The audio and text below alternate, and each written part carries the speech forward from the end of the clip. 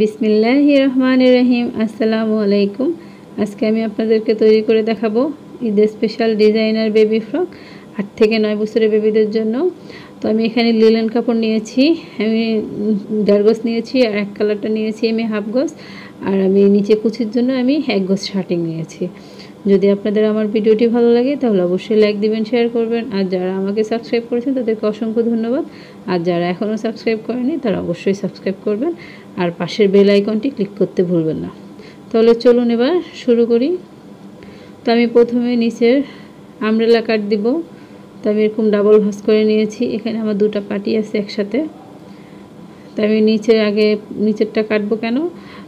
সাইডের যে কাপড়টা থাকবে, ওটা দিয়ে যেন আমি উপরের কাজটা করতে পারি। উপরের ডিজাইনের জন্য আমি সাইডের কাপড় দিয়ে করতে পারি। সেজন্য আমি আগে নিচে আমরেলা কাপড়টা কেটে নেব।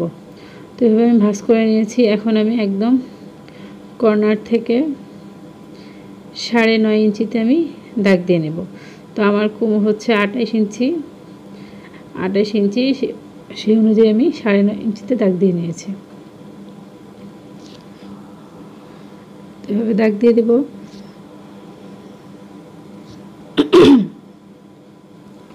তখন আমি লাম্বার মাপ নিব। লাম্বার মাপ আমি আঠারো ইঞ্চি নিব। আমি আঠারো ইঞ্চিতে দাগ দিয়ে নেব। তো এই সাইড থেকে আমি আঠারো ইঞ্চিতে দাগ দিয়ে নেব।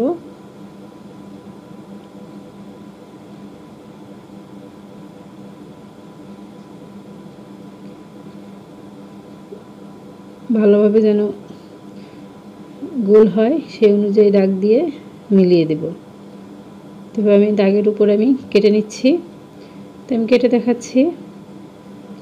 এই যে আমি কেটে নিয়েছি। এখন আমি নিচে কুচির জন্য কাপড় রেডি করব। এরকম আমি দুই সামনে এবং পিছনে আমার হবে, আমি দুইটা কাপড় কেটে নিয়েছি। চড়া নিয়েছি আমি চার ইঞ্চি আর কুচি।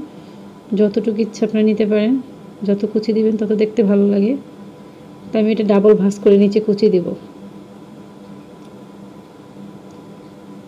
এভাবে রেখে আমি নিচে কুচি দিব আমি। তো এখন আমি এখন উপরের পার্ট রেডি করব। দেখেন আমি সামনে এবং পিছনের পার্ট ভাঁজ করে নিয়েছি। দুটো পাটি আমি একসাথে ভাঁজ করে নিয়েছি। তো এখন আমি কাঁধ নিব পাঁচ ইঞ্চি। আর বগল নিব আমি সাড়ে পাঁচ ইঞ্চি। এদিক থেকেও আমি পাঁচ ইঞ্চিতে দাগ দিয়ে দেব। তো দাগ দিয়ে আমি মিলিয়ে দিচ্ছি। আর আমি বডি নিচ্ছি আমি আঠাশ ইঞ্চি নিব। তো আমাদের সাত হবে আর সেলাই সহ আমি এক ইঞ্চি বেশি নিব। এভাবে দাগ দিয়ে দিব আট ইঞ্চি। আর আমি লাম্বা নিয়েছি বারো। আর নিচে আমার কোমরও হবে আঠাশ ইঞ্চি। তো সেলাই সহ আমি এক ইঞ্চি বেশি নেব। তো আমি আট ইঞ্চি নিয়েছি। আর নিচে কোমরে আমি হাফ ইঞ্চির মতো উপরের দিকে উঠিয়ে দিব। দাগ দিয়ে দিয়েছি।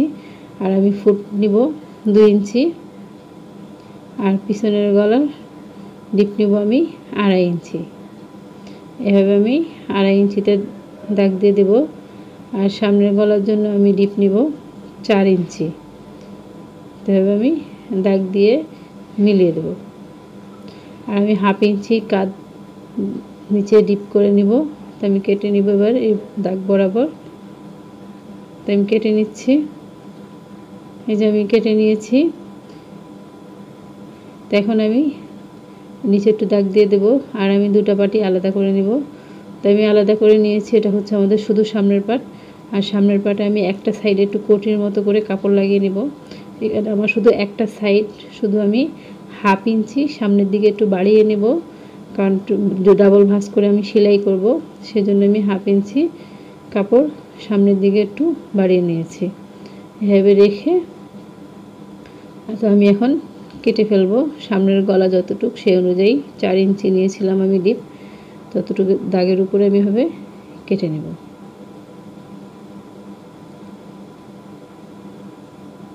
আমি কেটে নিচ্ছি। নিচেও কোমরের দিকেও আমি কেটে নেব। একদম সব সাইড আমার একই মাপ হবে। শুধু সামনের দিকে একটু হাফ ইঞ্চি আমি বেশি কাপড় নিয়েছি। আর পুরো সাইডে আমার একই সমান হবে কাপড়টা। আমি কেটে নিচ্ছি।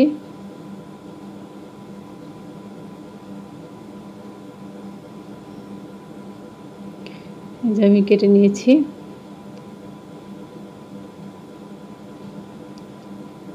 আমার কাটা হয়ে গেছে, এখন আমি সামনের গলা যেহেতু এখানে, আমি চার নিয়েছি, এখন আমি যে ডিজাইন করব ওটা আমি হাফ ইঞ্চি একটু বেশি গলা ডিপ করে নিব, সাড়ে চার ইঞ্চি। তো এখন আমি কাপড় রেডি করব। সামনে এবং পিছনের পাট তো আমার পিছনে আমার চেন হবে, সেজন্য আমি মাঝখান থেকে কেটে নিয়েছি। আপনারা চাইলে বুতাম ঘরে দিতে পারেন, আমি চেন লাগাবো। এরকম ডাবল ভাস করে নিয়েছি ডাবল ভাস করে চেনের উপরে আমি একটা পিন লাগিয়ে দিচ্ছি, আপনাদেরকে দেখার সুবিধার্থে।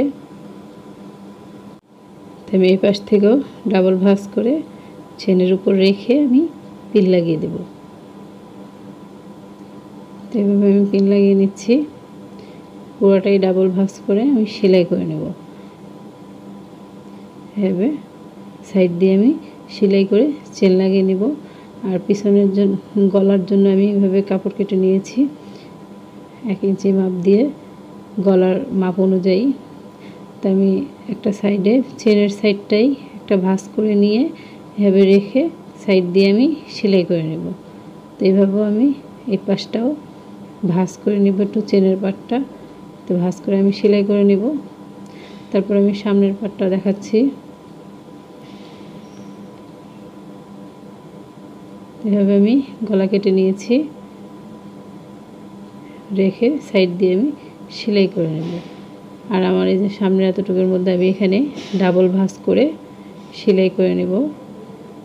এভাবে ডাবল ভাঁজ করে আমি সেলাই করে নেব। আর আমি এখানে কাপড় কেটে নিয়েছি। পাইপিং দিয়ে নেব, এভাবে সেলাই করে নেব। তো আমি সেলাই করে দেখাচ্ছি। এই যে আমি সেলাই করে নিয়েছি গলায়। তখন আমি কেচি দিয়ে একটু কেটে নিব এভাবে, আস্তে আস্তে করে, যেন আমার কাপড় কেটে নেওয়া যায়, সাবধানে কাটবো। এভাবে আমি সামনের পাটটাও কাটবো। তো আমি এখন পিছনে একটা ভাঁজ দিব। তারপর আরেকটা ভাঁজ দিয়ে আমি পুরোটাই ভিতরের দিকে নিয়ে যাব। এভাবে পুরোটাই ভিতরের দিকে নিয়ে আমি সেলাই করে নেব। এরকম প্রথমে একটা ভাঁজ দিব, তারপর আরেকটা ভাঁজ দিয়ে আমি পুরো কাপড়টাই ভিতরের দিকে নিয়ে যাব। তো আমি দুটোই করে কমপ্লিট করে দেখাচ্ছি। এই যে আমি সেলাই করে নিয়েছি, আর সামনেটাতে আমি ডাবল ভাঁজ করে সেলাই করে, আর উপরে আমি পাইপিং সেলাই করে নিয়েছি। এখন আমি বসে দেখাচ্ছি কীভাবে হবে আমাদের সাইডের ডিজাইনটা তো এভাবে আমি একটার উপর একটা রাখব। আমার ডান সাইডে হবে কাপড়টা। এভাবে রেখে। তো আমি আগে এটার সাথে জয়েন করে নিব, কাঁধ এবং বগল সেলাই করে নিব। তারপর আমি পিছনের পাটটা এভাবে রেখে, সোজা পাট আমাদের ভিতরের দিকে থাকবে, বাইরে উল্টা পাট তো আমি এভাবে কাজ সেলাই করে নেব। তো আমি সেলাই করে দেখাচ্ছি। এই যে আমি সেলাই করে নিয়েছি, আর এটাও আমি লাগিয়ে নিয়েছি। এই যে আমি লাগিয়ে নিয়েছি। এখন আমি নিচে শার্টিং কাপড় দিয়ে একটু ডিজাইন করব। তা আমি এখানটা চড়ার মাপ নিচ্ছি আগে। আমি চড়া নিয়েছি চার ইঞ্চি। তারপর আমি এভাবে ডাবল ভাঁজ করে দিব। তো এভাবে ডাবল ভাঁজ করে তারপর আমি কোমরে লাগাবো। এভাবে রেখে তারপর সাইড দিয়ে আমি সেলাই করব। আর আমি পিছনে আমি ফিতা দিব কোমরে। তো আমি ফিতা সেলাই করে নিয়েছি এভাবে। তো আমাদের ফিতার যে সাইডটা সেলাই করেছি, ওটা আমাদের নিচের দিকে থাকবে। তারপর এভাবে রেখে আমি পেন লাগিয়ে নিব।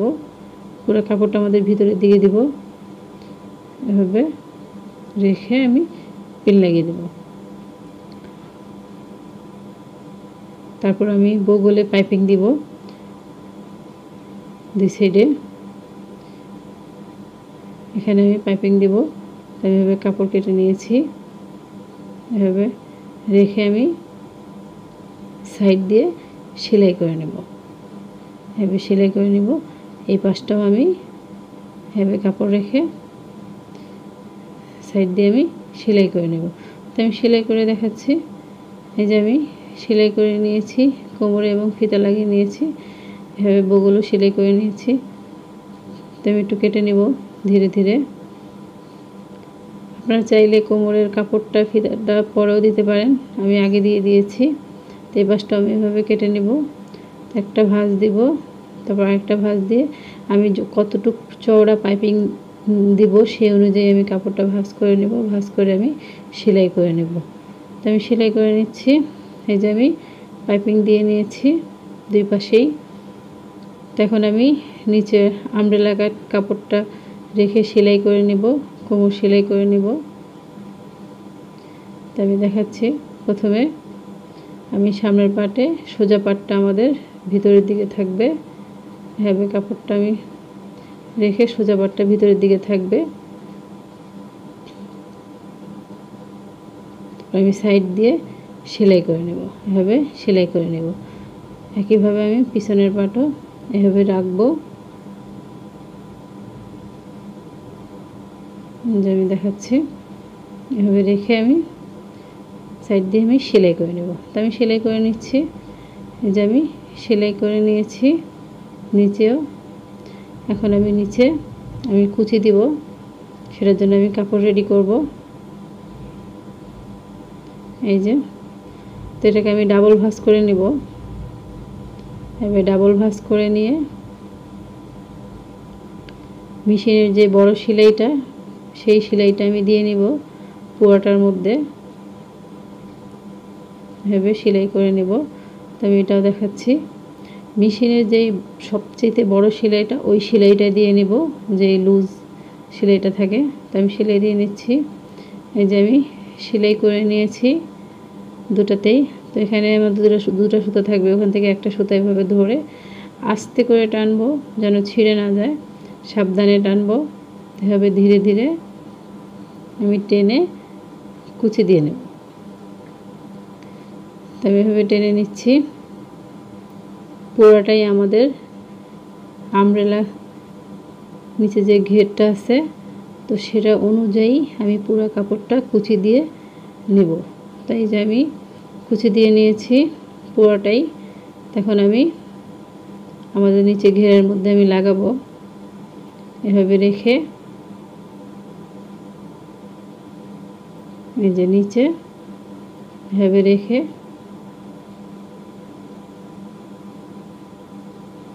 দেখাচ্ছি। তো সাইড দিয়ে এভাবে আমি সেলাই করে নেব। একইভাবে আমি ওই পাটটাও সেলাই করে নেব। তো আমি সেলাই করে নিচ্ছি, এই যে আমি সেলাই করে নিয়েছি, দুটাই সাইড দিয়ে সেলাই করে নিয়েছি আর উপরে আমি একটা চাপ সেলাই দিয়ে নিয়েছি যেন কুচিটা ভালো মতো বসে। এখন আমি বডি ফিটিং করে নেব। এভাবে ফিতাটা ভিতরের দিকে দিয়ে এভাবে রেখে সাইড দিয়ে আমি বডির মাপ অনুযায়ী সেলাই করে নেব। তো এই পাশটাও আমি এভাবে ভালো মতো বসিয়ে নেব। তারপর সাইড দিয়ে আমি সেলাই করে নেব। তো আমি সেলাই করে দেখাচ্ছি। এই যে আমি দুই পাশে সেলাই করে নিয়েছি। এখন আমি উল্টিয়ে নেব।